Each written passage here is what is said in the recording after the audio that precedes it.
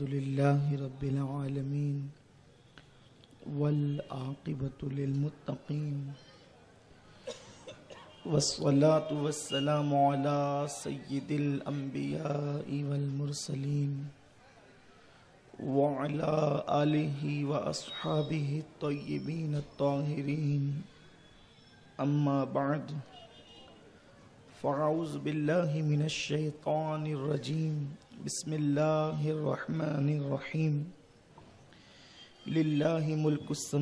वल अर्द यखलुकुमा यशा, यहबू लिम यशा इनासम व यहबू लिम यशा ज़कूरा। सदकल्लाज़ीम गौस आज़म बमने बे सरू सामा मददे। क़िबल दी मददे काब ईमा मददे। बगीरदा बेबला उफ्तादा कश्ती, ज़ईफ़ानू शकिस्ता रात पुष्टी बहक के खाजे उस्मान हारून, मदद कुन या मोइनुद्दीन चिश्ती, मदद कन या मोइनुद्दीन चिश्ती, मदद कन या मोइनुद्दीन चिश्ती। मोज व मुकर्रम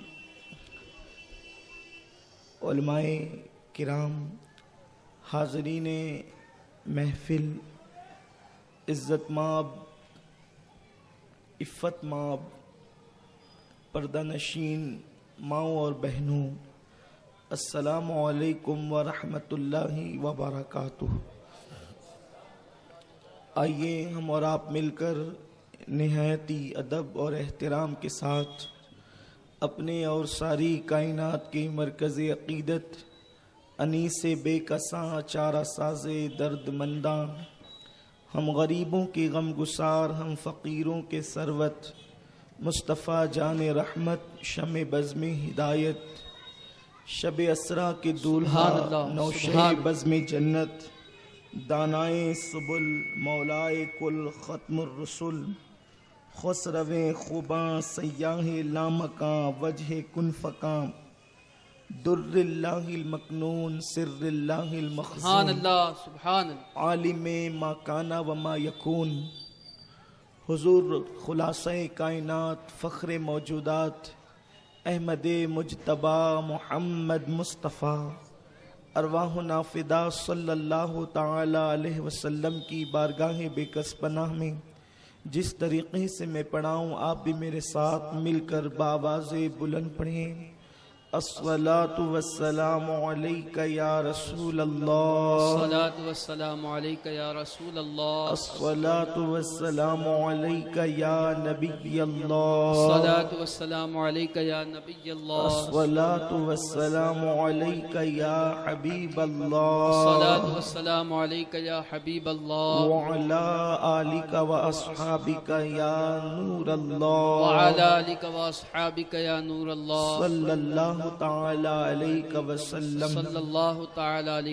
वसल्लम।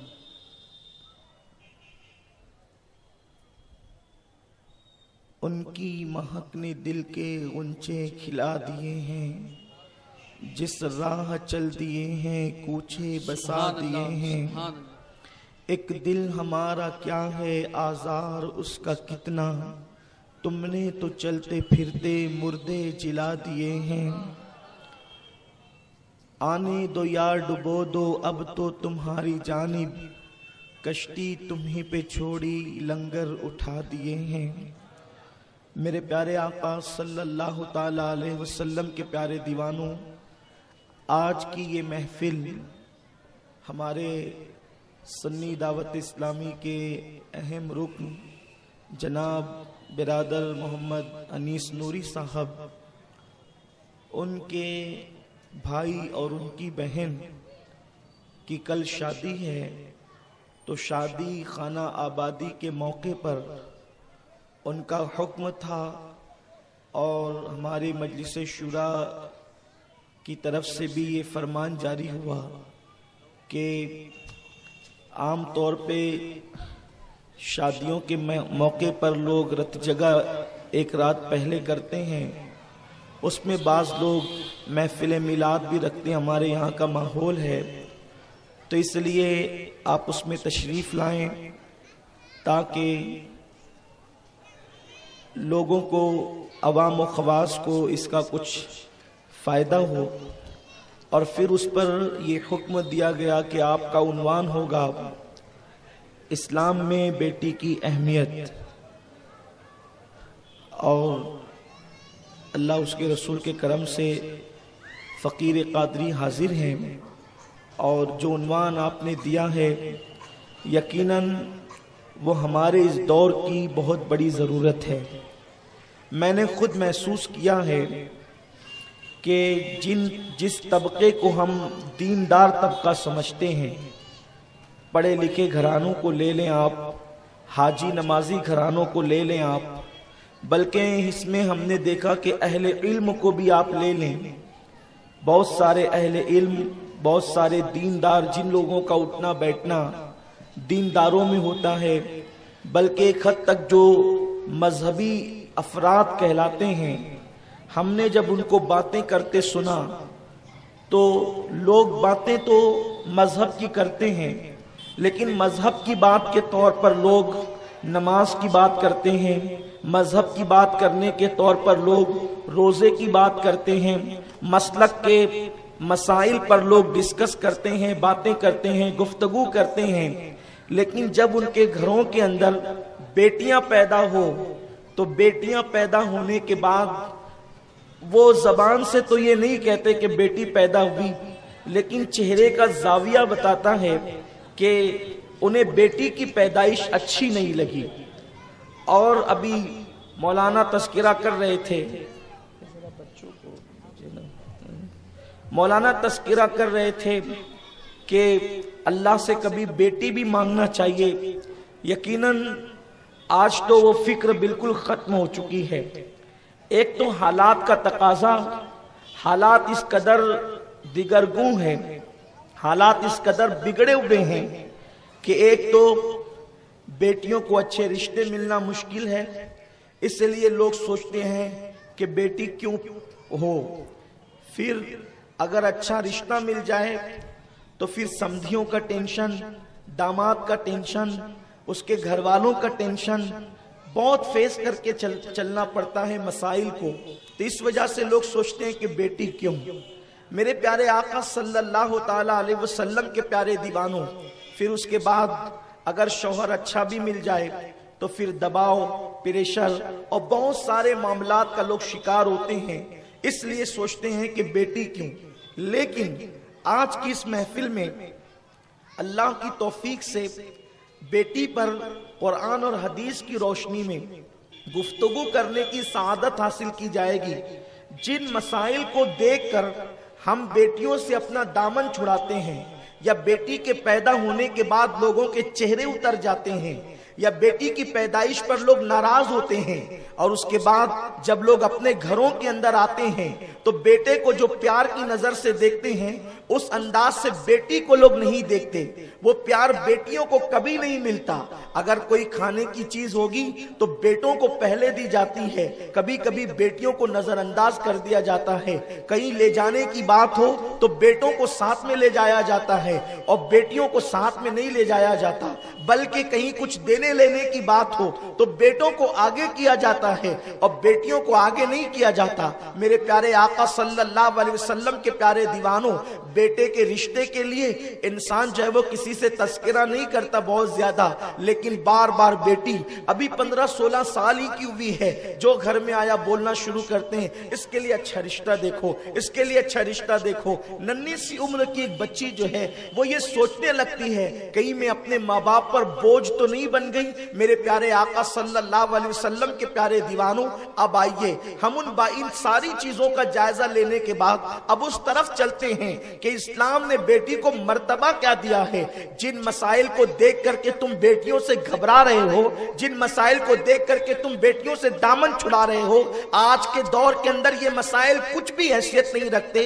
अल्लाह के हबीब वसल्लम जिस दौर में जलवगर हुए हैं, आकाए करीम वसल्लम ने जिस दौर में इस फर्श खाके गीती पे कदम रखा है, वो दौर बेटियों से नफरत का दौर था। वो दौर बेटियों से अदावत बगावत का दौर था। वो दौर बेटियों को जिल्लत समझा जाता था। वो दौर बेटियों को रुसवाई का ज़रिया समझा जाता था। उस दौर के अंदर बेटियों को ज़िंदा दफन कर दिया जाता था। उस दौर में बेटियों को पहाड़ों पे ले जा करके फेंक दिया जाता था। एक बाप अपने हाथों से गोया के अपनी बेटी का गला घोट करके अपनी मोहब्बतों का गला घोटता हुआ नज़र आता था। मेरे प्यारे आका सलाम के प्यारे दीवानों, उस माशरे और समाज का तस्करा कुरान मुकद्दस ने इस अंदाज से किया है, अगर किसी के यहाँ बेटी पैदा होती तो वो मुँह छुपाते हुए फिरता था, और उसका मुँह काला पड़ जाता था, उसका मुँह सिया पड़ जाता था। काला और सिया पड़ने का मतलब क्या है, आप जानते हैं? इंसान जब बहुत मायूस और गमगीन हो जाता है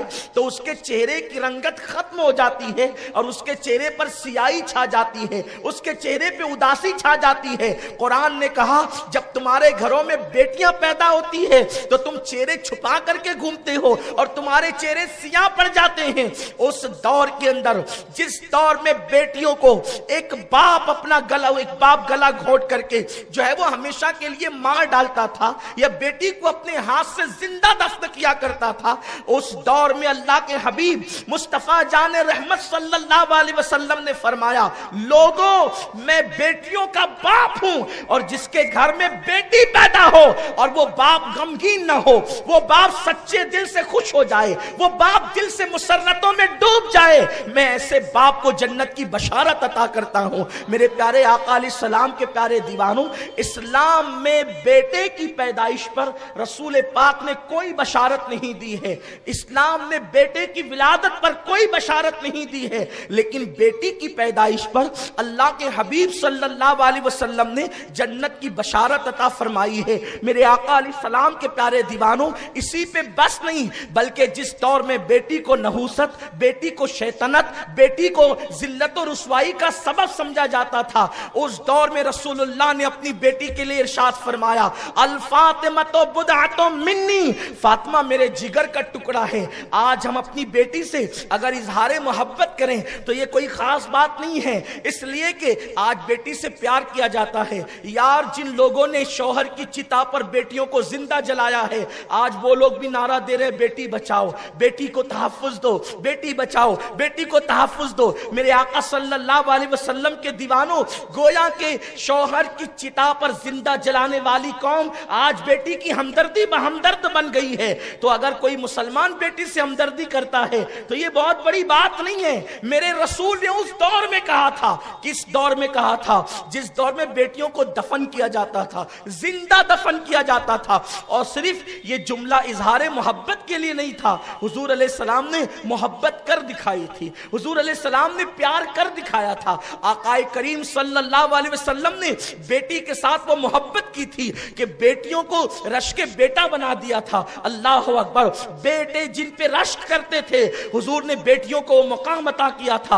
आप जानते हैं, अल्लाह के हबीब सल्लल्लाहु अलैहि वसल्लम का वो अंदाज जो हम बतौर फजीलत बयान करते हैं, आज मैं उसको बतौर कानून बयान करना चाहता हूँ। मेरे आका सलाम के प्यारे दीवानों, आज ये देखिए, अल्लाह के हबीब सल्लल्लाहु अलैहि वसल्लम फरमाते हैं कि मैं बेटियों का बाप बन करके आया हूँ। जिसके घर में बेटी पैदा हो, मैं उसको जन्नत की बशारत अता करता हूँ। और उसके बाद आप देखें, अल्लाह अकबर, हुजूर फरमाते, फातिमा मेरे जिगर का टुकड़ा है। जिसने फातिमा को नाराज़ किया, उसने मुझ मोहम्मद को नाराज़ किया। जिसने फातिमा को गजब ना किया, उसने मुझ मोहम्मद को गजब ना किया। यहाँ पर यह बात कही जाती है। अहले बैत की अजमत के तौर पे बेशक हम खुद भी इसको अहले बैत की अजमत के तौर पे बयान करते हैं। लेकिन हुजूर ने यह क्यों नहीं कहा? हुजूर सलाम ने यह क्यों नहीं कहा? जिसने आयशा को गजबनाक किया, उसने मुझे गजबनाक किया। इसलिए कि उम्मुल मोमिनीन, अम्मा जान, आयशा सिद्दीका भी अहले बैत हैं। और वो तो असल अहले बैत है। और औलाद रसूल दाखिले अहले बैत है ये, अहले इल्म की तफसील है। क्योंकि आप अपनी बीवी को कहते हैं ना, मेरी घर वाली इसलिए कि वो आपके घर के अंदर रहती है। तो ये अहले बैत का मतलब होता है हजूर के घर वाले ठीक है? तो हजूर सल्लल्लाहु अलैहि वसल्लम के घर में जो 24 घंटे रहते थे, वो आयशा थी अम्मी जान, उम्मे सलमा थी, हज़रत मैमुना थी, हज़रत जवेरिया थी, हज़रत उम्मे हबीबा थी, हज़रत जैनब थी जैनब बिन जहाश थी। इस तरीके से हजूर सलाम के अजवाज मतहरात हैं। जनाब रहना को ले लें, मारिया किबतिया को ले लें। ये सब हजूर सलात व तस्लीम की अजवाज मतहरात हैं। हजूर सलाम ने इनको शरफ बख्शा है। लेकिन सैयदा फातमतुजहरा सोलह साल की उम्र तक हजूर के घर में रही।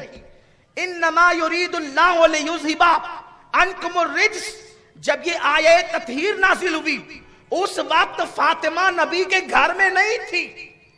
इसलिए कि फातमतुजहरा तो अली के घर में चली गई थी।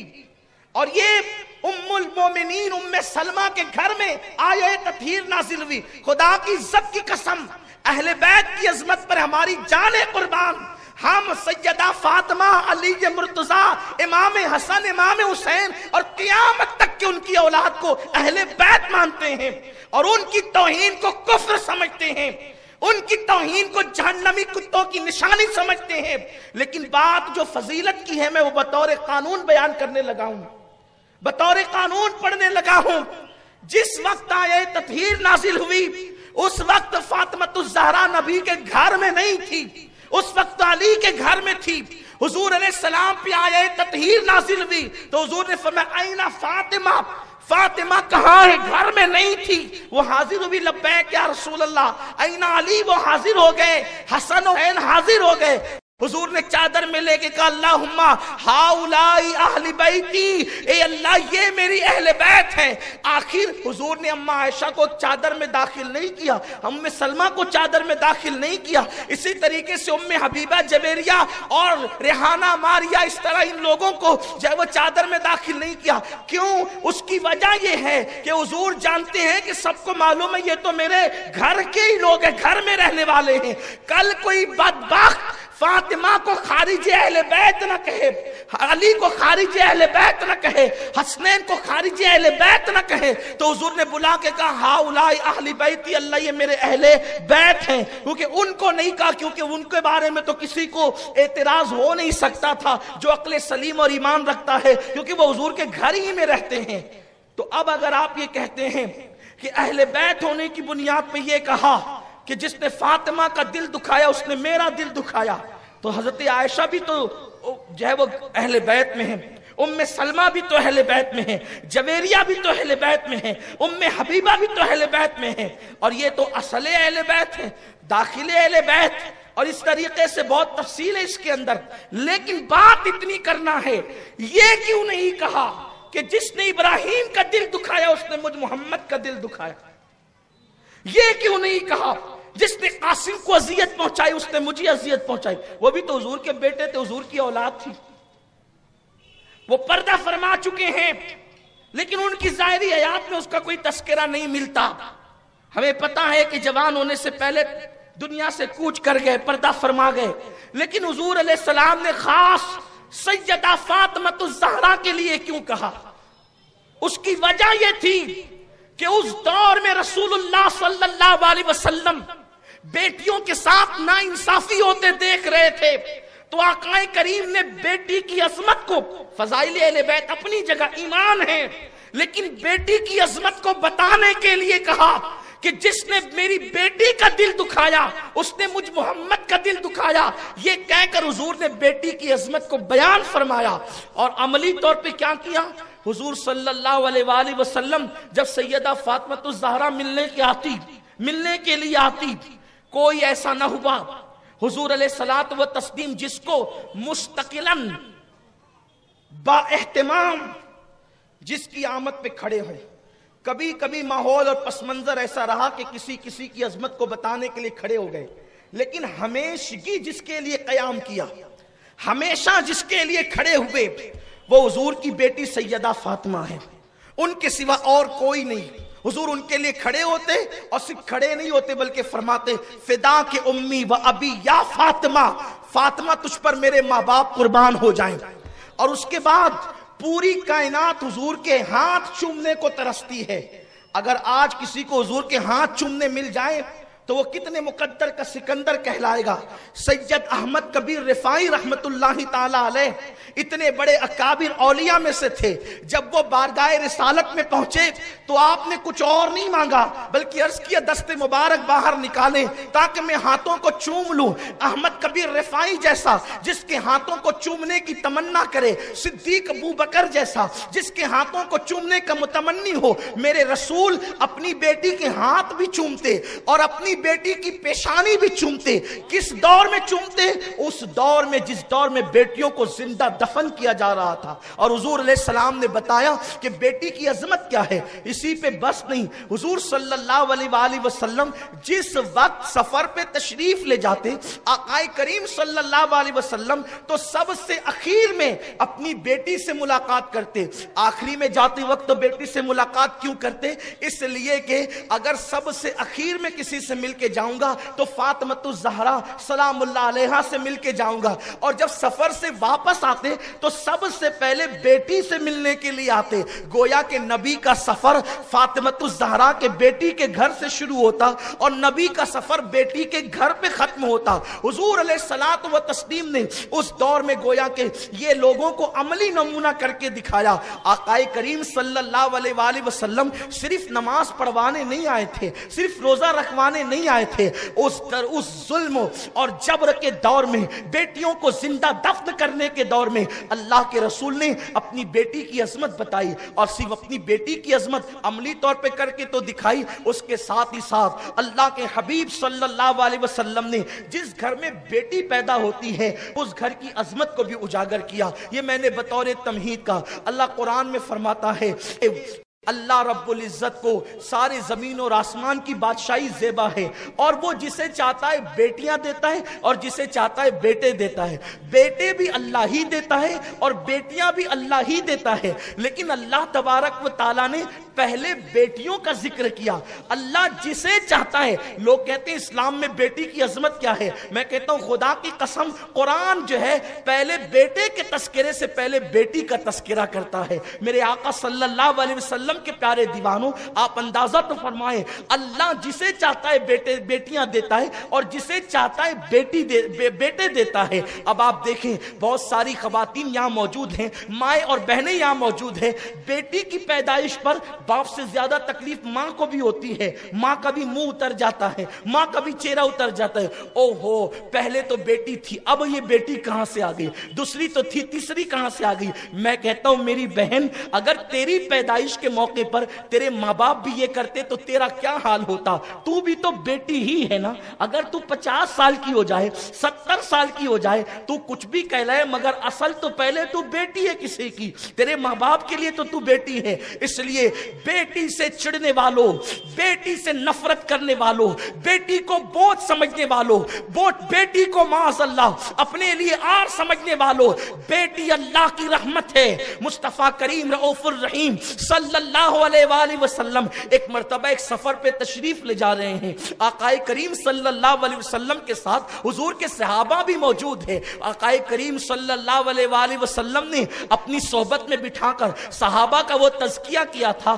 कि अब सहाबा किराम भी गैब के पर्दे से देख लिया करते थे। सहाबा की नज़रों पर से भी पर्दे गैब उठ चुके थे। बाज मकाम पर वो भी उसका मुशाहिदा कर लिया करते थे। आकाए करीम रऊफुर रहीम सल्लल्लाहु अलैहि वसल्लम के साथ सहाबा जा रहे हैं। जाते हुए सहाबा ने अर्ज़ किया, या रसूल अल्लाह सल्लल्लाहु अलैहि वसल्लम, हमारे माँ बाप आप पे कुर्बान, मेरे आका, इस घर से नूर छन छन के निकल रहा है। या रसूल अल्लाह इस घर से नूर छन के क्यों निकल रहा है? तो अल्लाह के हबीब ने फरमाया, गैबदा नबी ने फरमाया, जाके मालूम करो, या तो इस घर में किसी यतीम की परवरिश हो रही होगी, या तो इस घर में बेटी की विलादत हुई होगी। आप गौर फरमाए, जिस घर में बेटी की विलादत होती है उस घर से अल्लाह का नूर छन करके निकलता है। आप गौर करें, ये बेटे की विलादत पर नहीं है। बेटा ज़्यादा से ज़्यादा दुनिया की दौलत कमा के दे सकता है। बेटा ज़्यादा से ज़्यादा दुनिया में तुम्हारा नाम बुलंद कर सकता है। यकीनन बेटे की भी अहमियत है। बेटा ज़्यादा से ज़्यादा तुम्हारी नस्ल की बका का ज़रिया हो सकता है। लेकिन रहमत खुदा जिससे मिलती है, उसे बेटी कहते हैं। जन्नत की बशारत जिससे मिलती है, उसे बेटी कहते हैं। मुस्तफ़ा जाने रहमत का कुर्ब जिससे मिलता है उसे बेटी कहते हैं। दुनियादार, मुमकिन है उसके नज़दीक अहमियत ना हो कि नबी का कुर्ब मिलता है, जन्नत मिलती है, रहमत की बशारत मिलती है, जन्नत का मुजद जाफिजा मिलता है। आप जानते हैं, अल्लाह के हबीब मुस्तफ़ा करीम रऊफुर रहीम सल्लल्लाहु अलैहि वसल्लम ने फरमाया, जिसके घर में तीन अदद बेटियाँ हों, जिसके घर में तीन तीन बेटियाँ हों और एक अदद बेटा हो, जब वो सफ़र से आए, इसलिए कि जो चीज़ की कमी होती है, उसकी अहमियत ज़्यादा होती है। तो चूँकि जिसके घर में तीन बेटियाँ हो और बेटा एक ही हो, आप जानते हैं उस घर में बेटे की अहमियत क्या होगी? उस घर में बेटों को कैसे पलकों पलकों पे बिछाया जाता हो, बिठाया जाता होगा? बेटे की कैसी कदर की जाती होगी? बेटे की कैसी अहमियत की जाती होगी? अल्लाह अकबर। मेरे आका फरमाते हैं, अगर तीन अदद किसी के घर में बेटियाँ हो और एक ही अदद बेटा हो आका फरमाते हैं, जब वो सफ़र से वापस आए तो पहले अपने बेटे से न मिले, एक लौते बेटे से न मिले, बल्कि वो तीन अदद जो बेटियाँ हैं, पहले उन बेटियों से मुलाकात करे। ये किसने कानून दिया है? ये कानून मुस्तफ़ा जान रहमत ने दिया है। यानी तुम्हारे घर में जो तीन अदद बेटियाँ हैं, एक अदद एक लौते बेटे से पहले मत मिलना। जब सफ़र से आओ तो पहले अपनी बेटियों से मिलना। और आकाए करीम वसल्लम फरमाते हैं, अगर सफ़र में तुमने कोई तोहफा खरीदा है और तुम कोई तोहफा लाए हो तो पहले तोहफा बेटे को मत देना, बल्कि तोहफा पहले बेटियों को देना। अगरचे वो तीन हो, उनकी तादाद ज़्यादा हो, अगरचे बेटा इकलौता हो, तुम जब सफ़र से तोहफा लेकर के आओ तो पहले बेटे को मत देना। आकाए करीम फरमाते हैं, पहले बेटी को तोहफा देना और फिर मेरे आका का फरमान सुनो। अपनी माओ और बहनों से कहता हूँ, मचल जाओ, बेशुमार दुरूद सलाम हो, उस आमिना के लाल लाल पर जिसने बेटी को कितना बुलंद मकाम अता किया है, आकाए करीम सल्लल्लाहु अलैहि वसल्लम फरमाते हैं, जब तुम सफ़र से वापस आओ और तोहफा लेकर के आओ एक लौते बेटे को पहले तोहफा मत देना, बल्कि पहले तोहफा अपनी बेटियों को देना। आका फरमाते हैं, उसकी वजह यह है, अगर तुमने पहले बेटे को तोहफा दिया तो बेटियों का दिल बड़ा नाजुक होता है। बेटियों का दिल बड़ा कमज़ोर होता है। उनका दिल दुख जाएगा, उनका दिल टूट जाएगा। और आका फरमाते हैं, जिसने अपनी बेटी का दिल तोड़ दिया, उसने मुझ मोहम्मद का दिल तोड़ दिया। अब आप मुझे बताएँ, जो बेटी के दिलों को तकलीफ़ पहुंचाते हैं, गोया कि वो जिस रसूल का कलेमा पढ़ते हैं, उस रसूल के दिल को तकलीफ़ पहुंचाते हैं, उस रसूल के दिल को अजियत पहुंचाते हैं। मेरे प्यारे आका सलाम के प्यारे दीवानों, मुझे बताओ, नमाज़ पढ़ने वालों पाँच वक्त की नमाज़ पढ़ते हो तहजद का भी एहतमाम करते हो, कुरान की तिलावत भी करते हो, घरों के अंदर इस्लामी माहौल है, लेकिन मुझे बताओ, इस्लाम सिर्फ़ रोजा, नमाज़, हज जक़ात का नाम नहीं, क्या ये रसूल पाक की सुन्नत नहीं है कि बेटी का दिल दुखाने वाला, गोया कि अपने नबी का दिल दुखाता है, अपने नबी पाक के दिल को अजियत पहुंचाता है? आकाए करीम तो फरमाते हैं, पहले बेटे को तोहफा मत दो पहले बेटी को तोहफा दो। अल्लाह अकबर। और मेरे आका सल्लल्लाहु अलैहि वसल्लम ने एक महफिल में इरशाद फरमाया, जिसके घर में तीन बेटियाँ पैदा हो। हजूर ने शुरुआत की है तीन बेटियों से। आका फरमाते हैं, जिसके घर में तीन अदद बेटियाँ पैदा हो और वो खुशी करे।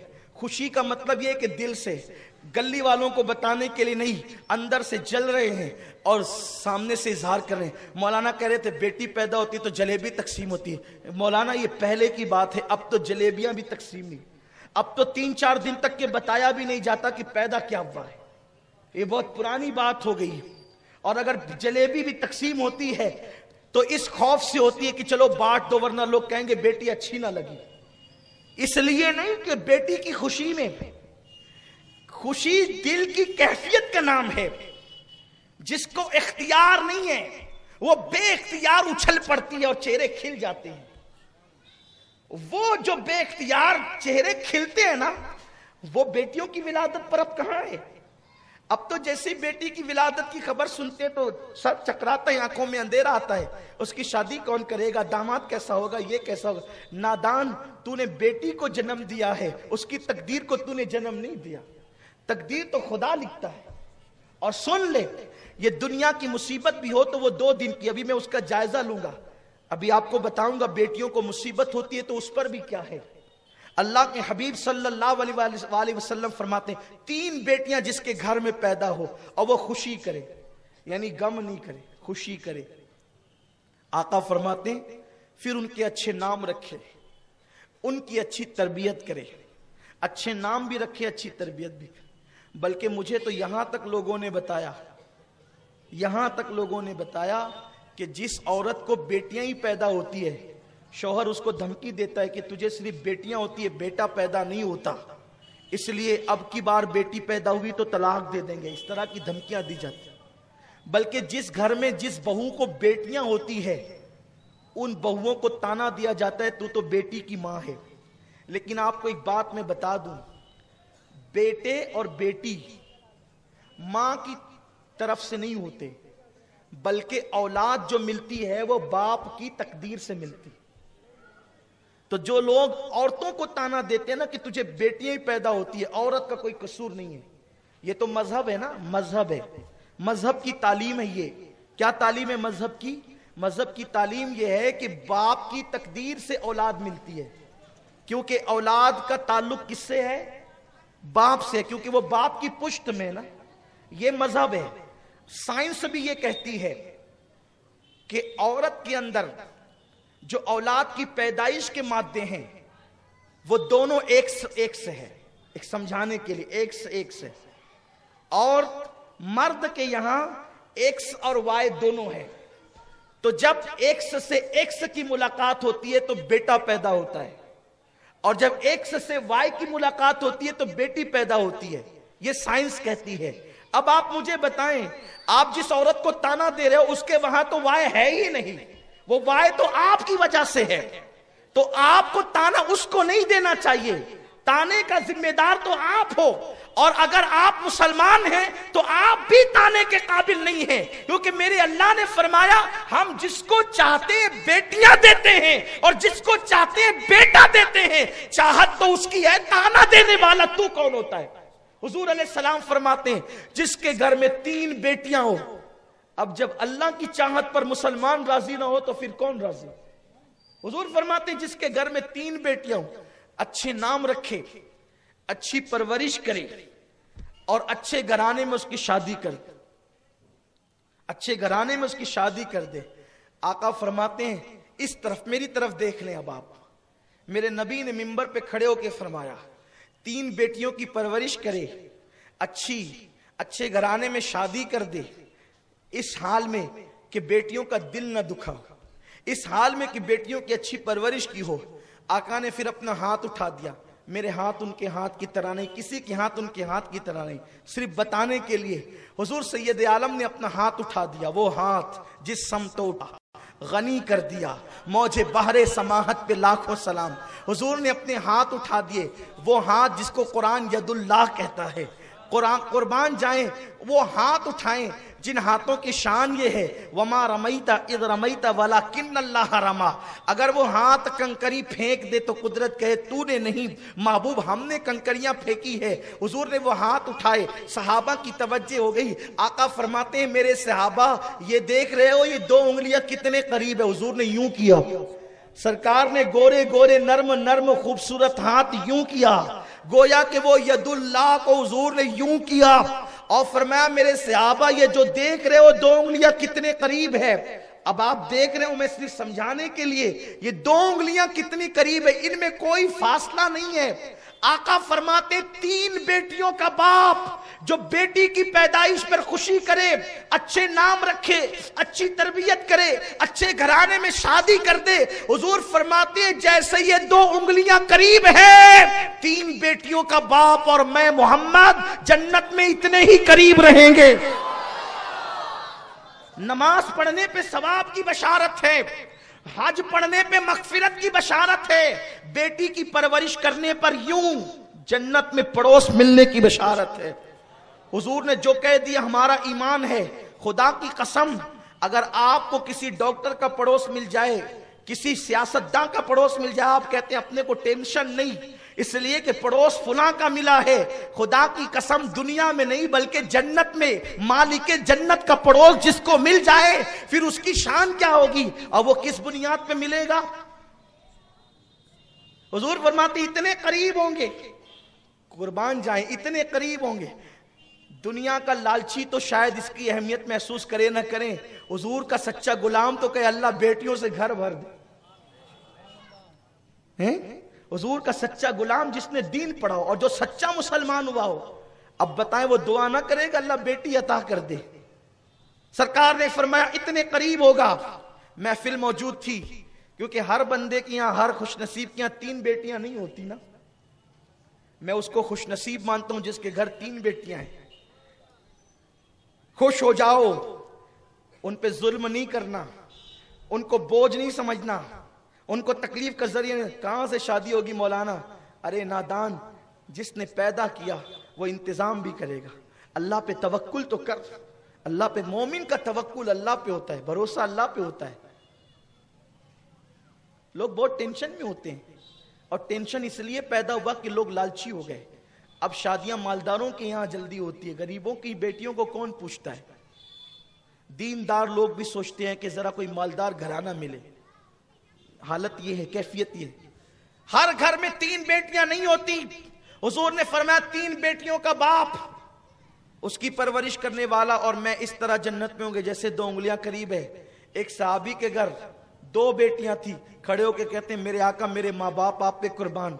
अगर किसी के घर तीन ना हो सकी बेटियाँ, दो ही हो तो? आका फरमाते उसकी परवरिश करे तो वो भी मेरे साथ इसी तरह जन्नत में होगा। एक वाला तड़पने लगा और सोचा कि मैं न तीन है, न दो है। खड़े होकर अर्ज़ की, आका, अगर तीन ना हो सके, दो भी ना हो सके, अगर ऐसा ही हो, एक ही मिले तो? यानी उस महफिल को हजूर ने इस तरह रश्क की महफिल बना दिया कि एक वाला दो की तमन्ना करने लगा और दो वाला तीन का मुतमनी हो गया। यानी बेटियों को अपने हाथ से दफन करने वाले अब बेटियों का मुतालबा करने लगे, यही तो मेरे नबी का इनकलाब है, यही तो मेरे रसूल का इनकलाब है कि कहा वो दौर जिस दौर में बेटियों को दफन किया जा रहा था और कहा वो दौर मस्जिद नबी के सहन में लोग चुप के चुप के कह रहे थे, अल्लाह एक क्यों दिया, दूसरी भी दे दे। जो दो माँ, जो दो वाले थे, वो कहते थे, अल्लाह दो की तीसरी भी दे दे? कौन? जिसने अपने हाथों से बेटियाँ दफन की थी। ये इनकलाब है मुस्तफ़ा करीम का।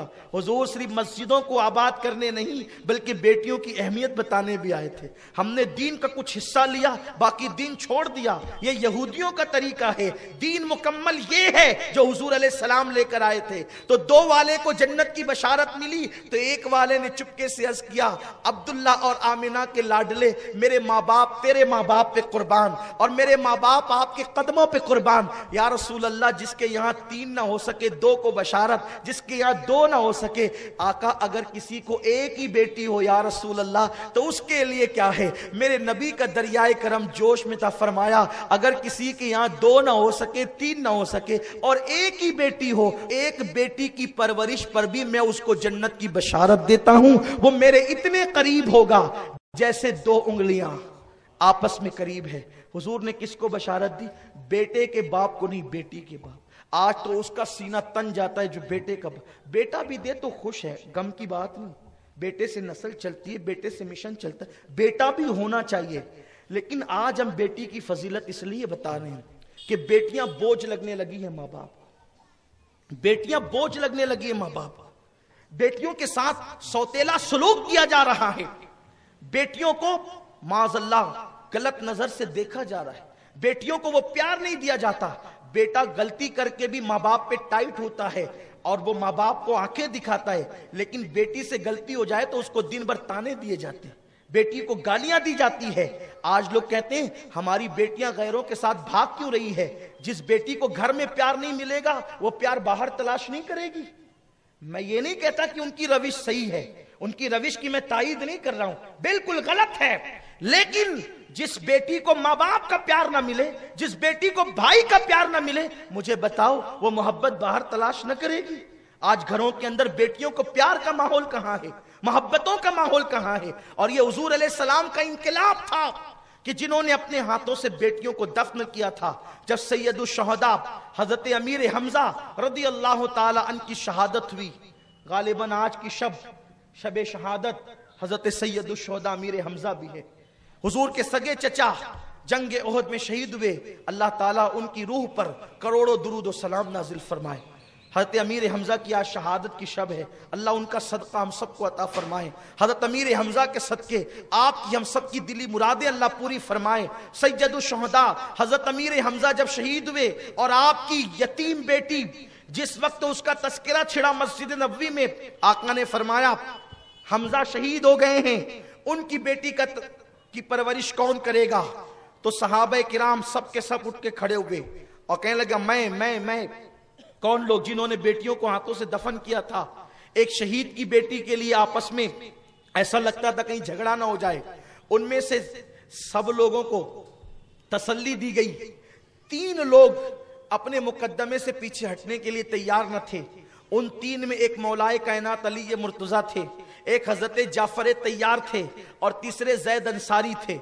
ये तीनों भी पीछे हटने तैयार न थे। मौला अली कहते थे, हमजा की बेटी मैं लूँगा, क्योंकि वो मेरा चचा था और मेरी वो चचाजाद बहन है। इसलिए उसकी परवरिश का हक मुझ पर बनता है और मैं करूँगा। हज़रत जाफ़र तैयार ने कहा, अली, तेरा चचा था तो चचा मेरा भी था, लेकिन उसमें और बढ़कर बात मेरे पास ये है कि हमजा की साली यानी इस लड़की की खाला मेरे निकाह में है तो वो मेरे चचा की बेटी भी है और मेरी बीवी की भांजी भी है, इसलिए ज़्यादा हक मुझ पे बनता है कि मैं उसकी परवरिश करूँ। इसलिए उस बच्ची को मैं ले जाऊँगा। हज़रत जैद अंसारी ने कहा, या रसूल अल्लाह आपने एक मुहाजिर को एक अंसार का भाई बनाया था तो चूँकि हमजा मेरा भाई था, इसलिए मैं लेकर के जाऊँगा। आकाए करीम सल्लल्लाहु अलैहि वसल्लम इस मुकदमे पे मुस्कुरा रहे थे। कहा तो वो दौर था, चंद साल पहले, कि लोग बेटियों से नफरत करते थे, खुद की बेटियों से। हजूर ने वो दौर ला दिया था, कि दूसरे की बेटी को परवरिश करने के लिए तीन तीन लोग मुकदमा लेकर के खड़े थे। मेरे प्यारे आका सल्लल्लाहु अलैहि वसल्लम के प्यारे दीवानों, आकाए करीम रऊफुर रहीम, सल्लल्लाहु अलैहि वसल्लम की गैर मौजूदगी में एक औरत हुजूर के घर में आई। उम्मुल मोमिनीन, अम्मा जान, सैयदा आयशा सिद्दीका अलैहा ने देखा कि उस औरत का रंग जर्द पड़ा हुआ है और दुबली पतली उसकी बच्चियाँ हैं। और उस गरीब औरत ने कहा, उम्मुल मोमिनीन से घर में कुछ हो तो दे दो। उसने हज़रत अम्मा आयशा सिद्दीका कहती है, मैंने ढूंढा, कुछ नहीं मिला। फिर मैंने सोचा, हुजूर सलाम का दरवाज़ा है, इस दर से कोई खाली नहीं जाता, नहीं सुनता ही नहीं, मांगने वाला तेरा, आका के दर से कोई खाली नहीं जाता। तो मैंने ढूंढा तो एक छुआरा मिल गया। वो छुआरे को मैंने दिया, वो औरत को भूख लगी हुई थी, लेकिन उसके साथ दो बेटियाँ थी। उसने अपनी भूख को छोड़ दिया और उस खजूर के दो टुकड़े किए और बराबर बराबर करके दोनों बेटियों के हाथ में रख दिया। अम्मा जान आयशा सिद्दीका, चूँकि आपको औलाद नहीं थी और उसमें हजारा हिकमतें हैं इनशाला वो किसी मौके से बयान की जाएगी या मैं बयान कर चुका हूँ। अम्मा आयशा को औलाद इसलिए नहीं थी, उसकी हजारा हिकमतों में से एक हिकमत यह है कि कुदरत को यह मंजूर था। अगर औलाद होगी तो तवज्जे औलाद की तरफ़ रहेगी। आयशा को औलाद न हो, ताकि पूरी तवज्जो हुजूर से इल्म हासिल करने में लगाए और बाद में वही इल्म आप उम्मत के अंदर तकसीम कर दें। उसकी एक बड़ी वजह यह थी तो अम्मा जान आयशा सिद्दीका को यह मंजर बड़ा अजीब सा लगा और आपने जो है, वो खजूर के दो टुकड़े करके जब दोनों बच्चियों को एक माँ को देते हुए देखा तो आपकी आँखों में आँसू आ गए। वो औरत और उसकी बच्चियाँ तो उठ करके चली गई और आँख में आँसू अभी झिलमिला रहे थे कि आकाए करीम सल्लल्लाहु अलैहि वसल्लम घर में तशरीफ़ लाए और उम्मुल मोमिनीन, अल्लाह अल्लाह, जो रसूल उम्मतियों की आँख में आँसू नहीं देख सकते, वो रसूल अपनी मुकद्दस जौजा, महबूबाए, महबूब रब्बुल आलमीन की आँखों में आँसू कैसे देख सकते हैं? वो आयशा जिसके बिस्तर पे कुरान नाजिल हो, उसकी आँखों में आँसू कैसे देख सकते हैं? हदीस पाक का मफहूम है, मेरे सरकार ने अम्मा आयशा की आँखों में आँसू देखे और फिर मैं आयशा, रोने की वजह क्या है? अम्मा जान आयशा सिद्दीका कहती है, या रसूल अल्लाह मैंने थोड़ी देर पहले ऐसा ऐसा मंजर देखा है। आका फरमाते हैं, आयशा, उस औरत ने अपनी भूख को तरजीह नहीं दी, बल्कि बेटियों को अहमियत दी। मैं तुझे बताता हूँ और मैं उस औरत के लिए बशारत देता हूँ कि कल कयामत के दिन अगर इसके गुनाहों के सबब से इसको जहन्नम में डाला जाएगा तो अल्लाह बेटियों से मोहब्बत के सदके में इस औरत को जन्नत बेहिसाब किताब अता फरमाए। बेटियों की मोहब्बत के तो फैल। एक हदीस और पढ़ के अपनी बात खत्म करता हूँ। कभी कभी ऐसा होता है, बेटी की शादी हुई। शादी के बाद दामाद अच्छा नहीं मिला तो बेटी का तलाक हो जाता है। और यूँ भी हमारे शहर में तलाक अपनी मिसाल आप है। मैं इस इस्लाम और बेटी के उन्वान से जो हमारा सुन्नी इज्तिमा मुनक्द हुआ है अनीस भाई की भाई और बहन की शादी के मौके पर मैं पूरे शहर को एक पैगाम देना चाहता हूँ। बुरा लगे तो माफ़ करना, लेकिन एक पैगाम देना चाहता हूँ। अपने शहर में तलाक बहुत होता है। नमक ज़्यादा होने पे तलाक, इस पे तलाक, उस पे तलाक, उस पे तलाक। और तलाक खेल बन गया इस शहर के अंदर, इल्ला माशाल्लाह। दुल्हन से के हाथ की मेहंदी भी नहीं छूटती, और लोग औरतों को तलाक देने की बातें करते हैं। उससे इस्लाम दुश्मन ताकतों को इस्लाम का मज़ाक उड़ाने का मौका मिलता है। जबकि अल्लाह के रसूल सल्लल्लाहु अलैहि वसल्लम ने फरमाया कि जायज़ कामों में अल्लाह को सबसे ज़्यादा नापसंदीदा काम तलाक है। और एक बात याद रखना, हो सके तो दिल पे गांठ मार लेना। लोगों को तलाक देना बहुत अच्छा लगता है, लेकिन मैंने अपनी इस छोटी सी उम्र में यह तजुर्बा किया है, जो औरतों को बेगुना तलाक देते हैं उनके घरों के अंदर हमेशा तबाही मचती रहती है। वो दुनिया में कभी सुकून नहीं पाते कभी तरक्की नहीं पाते। क्यों? क्योंकि बेगुना किसी औरत को तलाक देकर आप उसकी पूरी ज़िंदगी से खिलवाड़ कर, कर डालते हैं। उसकी पूरी ज़िंदगी को तबाह कर डालते हैं। और आप ये सोचते हैं कि एक औरत जिसके बाप को रसूल पाक ने फरमाया कि अगर बाप भी बेटी का दिल दुखाए तो गोया उसने मुझ मोहम्मद का दिल दुखाया, रसूल पाक फरमाते बेटी का दिल दुखाना नबी पाक का दिल दुखाने के बराबर है। आप मुझे बताएँ, जब वो हजूर की गमगीन उम्मती औरत, जब बिस्तर पे करवटें बदलती होगी तो उसका एहसास उस तलाक देने वाले बदबख्त को हो या ना हो, लेकिन उसकी एक एक आहों पर मदीने वाले मुस्तफ़ा करीम गुंबद खजरा में बेचैन होते होंगे, बेकरार होते होंगे। और मुझे बताओ, जो कौम अपने नबी को बेकरार करे, उस कौम को करार कैसे मिल सकता है? उस कौम को सुकून कैसे मिल सकता है? उस कौम को इत्मीनान कैसे मिल सकता है? मुसलमानों, अगर अल्लाह न करे, बीवी ऐसी भी मिल जाए, जिससे न जमती हो, मुँह चलाती हो तो क्या हम निभा नहीं कर सकते? अरे लोगों, अल्लाह के रसूल ने फरमाया, बहादुर वो नहीं है जो लोगों को पछाड़ता फिरे। आका फरमाते हैं, तुम में सबसे ज़्यादा बहादुर वो है जो गुस्से को पी लिया करता है। अगर गुस्से को पी लोगे तो तलाक क्यों वाक़ होगी? माशरा क्यों तबाह होगा? और कसरत तलाक की बुनियाद पर। अब आपके शहर मालेगांव की पहचान पूरे हिंदुस्तान में क्या बनी है पता है? लोग मज़ाक में कहते हैं, यार, अगर किसी को लड़की नहीं मिलती तो मालेगांव जाओ। सुबह पहुँचेंगे, शाम तक के लड़की मिल जाएगी। आपके शहर की छवि ये बनी है। पूरे हिंदुस्तान का मैं दौरा करता हूँ। अल्हम्दुलिल्लाह ताला, हुजूर की नालैन के सदके। मुझे पता है, अगर आपको ऐसा लगता है कि मैं मुबालगे से काम ले रहा हूँ, मैं आपको अभी प्रोग्राम के बाद कई लोगों से फ़ोन पे गुफ्तगु करवा सकता हूँ। लोग कहते हैं, जिसको औरत नहीं मिलती, वो मालेगांव जाए। यानी मालेगांव की छवि इतनी खराब हो गई है कि यहाँ लड़कियाँ बस यूँ ही गोया के माज अल्लाह मौजूद हैं और जो जब चाहे आकर के निकाह कर ले जाए। ये एक छवि बन गई है। और अब हालात ये हो रहे हैं कि माज अल्लाह लोग नफ्स की तफरी के लिए यहाँ आते हैं और आने के बाद निकाह करते हैं, ले जाते हैं, चंद दिन रख करके छोड़ देते हैं। और यहाँ के कुछ बदमाश लोग भी है जिनका धंधा हो गया है कि वो लोग कुछ औरतों को पकड़ करके रखे हुए हैं और निकाह करते हैं, वो जाती है और जाने के बाद महर ज़्यादा बांधते हैं, फिर वो कहते हैं, मुझे नहीं रहना, तलाक दो। तो उससे भी तोड़ी पानी करते हैं, मेहर के नाम पे ही पैसा लेते हैं और आपस में तकसीम कर लेते हैं। अभी इद्दत भी नहीं गुजरती, उसके बाद फिर दोबारा किसी बकरे को पकड़ के उसके साथ निकाह कर देते हैं। इससे शहर की छवि नहीं खराब हो रही है? शहर की गुंबद और मीनार बनाने से सिर्फ़ शहर को इज़्ज़त मिलेगी? इज़्ज़त अगर गुंबद और मीनार की बुनियाद पर मिलती तो फिर आज ये शहर का हाल क्यों हुआ?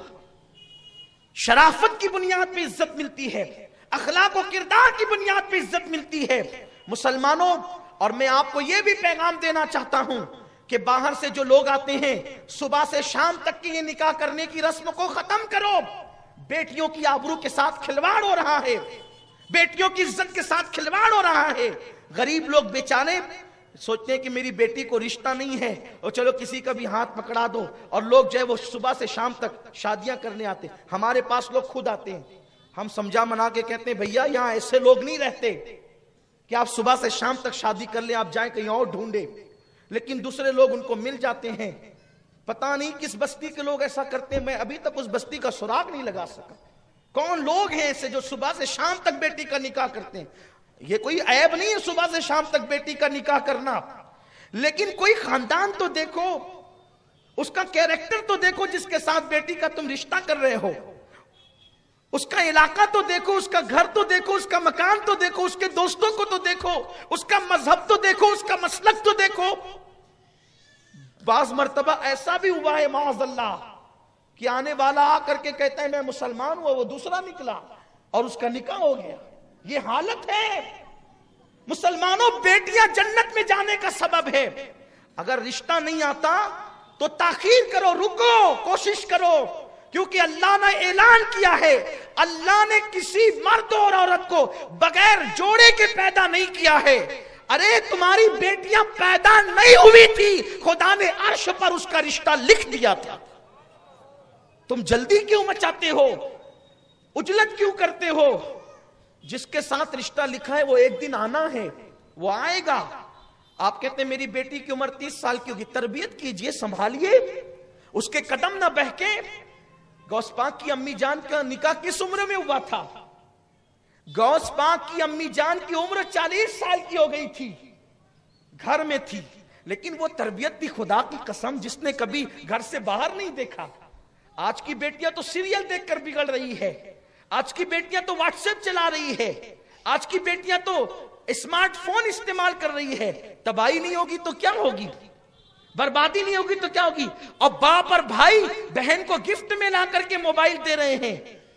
याद रखो, बेटियों के हाथ में मोबाइल अच्छा नहीं लगता। बेटियों के हाथ में तो मुसफ़े कुरान अच्छा लगता है। बेटियों के हाथ में व्हाट्सएप चलाना अच्छा नहीं लगता। बेटियों के हाथ में तो तस्वीर चलाना अच्छा लगता है। हमें अपने शहर की आबरू को बचाना होगा। यहाँ से लेके वहाँ तक, दाएँ से लेके बाएँ तक, और खातन भी यहाँ बड़ी तादाद में मौजूद हैं। हज़ारों की तादाद में यहाँ औरतें मौजूद हैं। मैं उनसे भी कहता हूँ, अपने घरों के मर्दों को बताओ कि ये जो बाहर से आने वालों को बगैर देखे तुम किसी का भी हाथ पकड़ा देते हो, घबरा करके, इस बुरी रस्म का, इस बिदत सयाह का खात्मा करना होगा।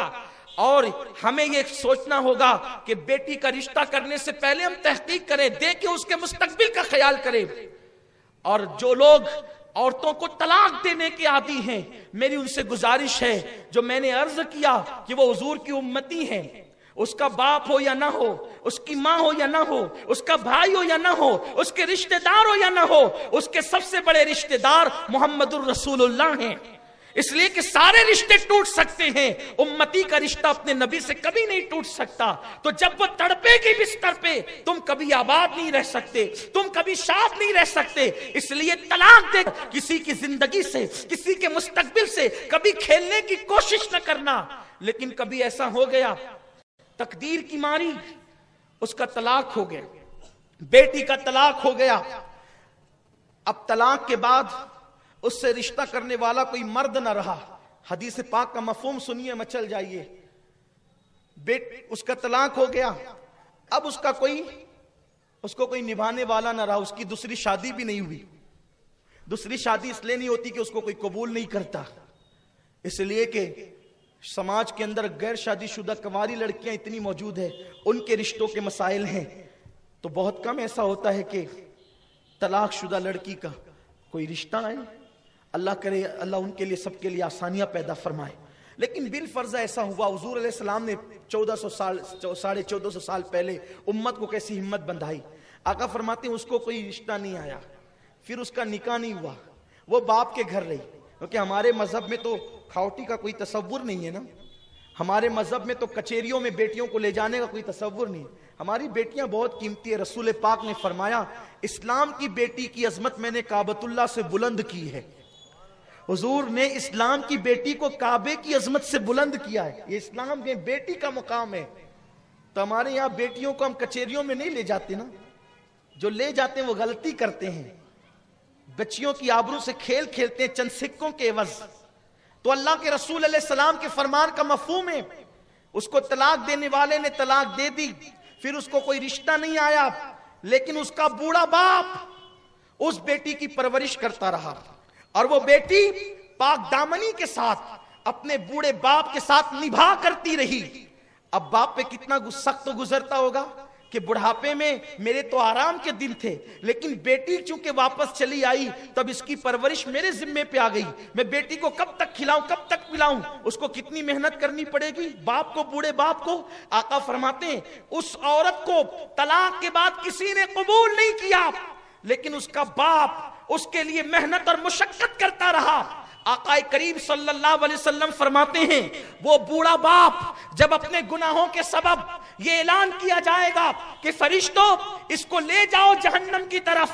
तो वो लड़की जो तलाक शुदा वापस आई थी और उसने अपने बाप के घर पड़ाव किया था और उस बाप ने अपनी बेटी की खिदमत की थी, उसकी आबरू के तहफुज के साथ उसकी परवरिश की थी, सबने छोड़ दिया था तो बाप ने निभाया था, सबने छोड़ दिया था तो भाई ने निभाया था, भाई ने अपने घर रखा था, सबने छोड़ दिया था तो भावज ने उसको जगह दी थी कि मेरी तलाक शुदा ननन है, मेरी मेरी तलाक शुदा बहन है, मेरी तलाक शुदा बेटी है इस तरीके से जिसने भी उसको पना देकर, उसकी इज़्ज़त को तहफुज दिया, उसकी खिदमत की, उसकी परवरिश की, जब उस बंदे को जहन्नम का हुक्म होगा तो वो मुतल्लिका तलाक शुदा लड़की आकर के अर्श के दाएँ जानिब खड़ी होगी और अल्लाह से कहेगी, मौला, दुनिया में तो तकदीर की मारी थी, लोगों ने मुझे छोड़ दिया था, इन्होंने निभाया था, आज मेरे उस सब्र का बदला चाहिए। अल्लाह फरमाएगा, क्या?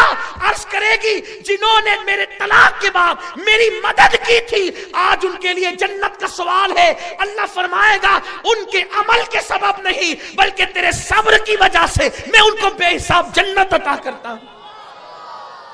तलाक शुदा बेटियाँ बोझ नहीं है, वो भी जन्नत में जाने का सबब है।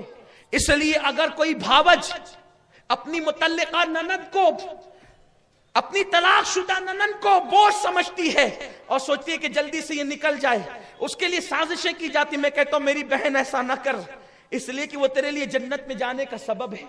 अगर किसी बाप को बेटी बोझ लगती है तो उससे कहो कि वो तेरे लिए जन्नत में जाने का। हाँ तलाक के बाद अच्छी कोशिश करो साले कोशिश करो कि उसके लिए कोई अच्छा रिश्ता आ जाए।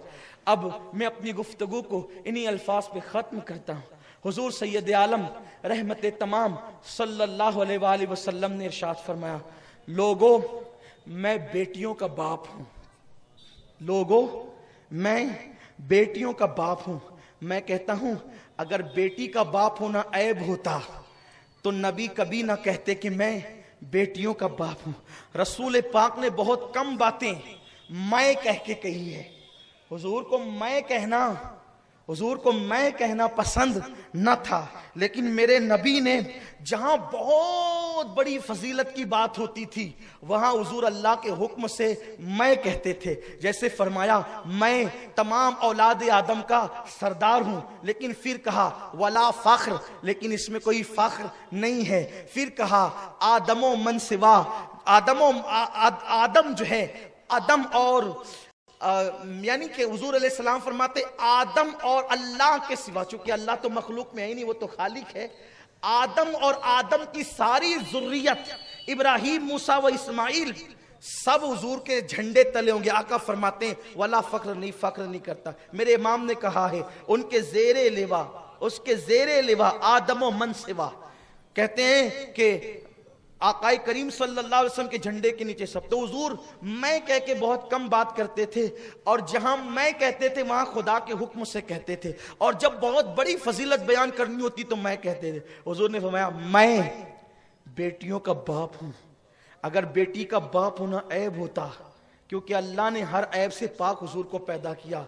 वह अहसन मिन कलम तरक़त तो आईनी व अजमल मिन कलम तलीदिन निसाओ खोलिक तमुबर अम मिन कुल्ली बिन खोलिक तमुबर अम मिन कुल्ली बिन खोलिक तमुबर अम मिन कुल्ली बिन वो कमाल हुस्न हुजूर है कि गुमान नक्स जहाँ नहीं, यही फूल खार से दूर है, यही शम्मा है कि दुआ नहीं। वहाँ कोई ऐब नहीं है, हुजूर की जात में कोई ऐब नहीं है।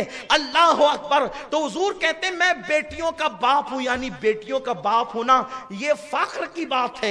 बेटी पैदा हो जाए तो मुँह लटका के मत घूमो, फाख्र से कहे कि मेरे नबी ने कहा, मैं बेटियों का बाप हूँ, अल्हम्दुलिल्लाह, मैं भी बेटी का बाप हूँ। ये ये कहे ना, ये कहें, मुझे भी कल तक ये कहने का हक न था, लेकिन अल्हम्दुलिल्लाह, मैं भी बेटी का बाप हूँ। और जो बेटी का बाप है, अब वो गम ना करे, बल्कि खुशी करे, इसलिए कि अगर अमल में कमी रह गई तो बेटी की इतनी अच्छी परवरिश करो, इतनी अच्छी परवरिश करो, हजूर कहते हैं, जो बेटी की परवरिश अच्छी करेगा, वो और मैं।